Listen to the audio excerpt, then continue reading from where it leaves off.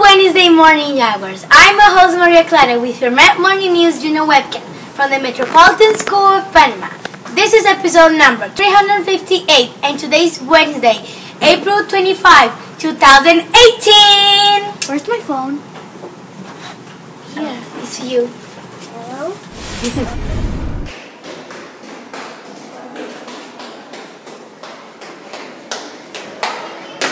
I'm Monkey, and here's what's happening at the Met. Today for students so they teachers can have their PAIS conference. Track and field starts next week.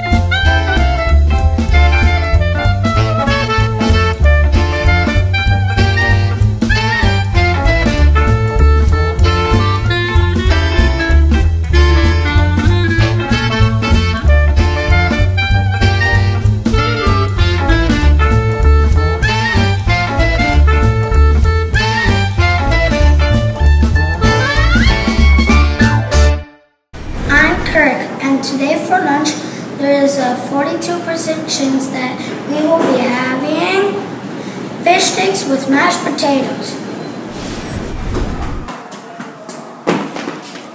Hi, I'm Nicolas, and in this day of history in the, nine, in the year 1945, delegates met in San Francisco to organize the United Nations.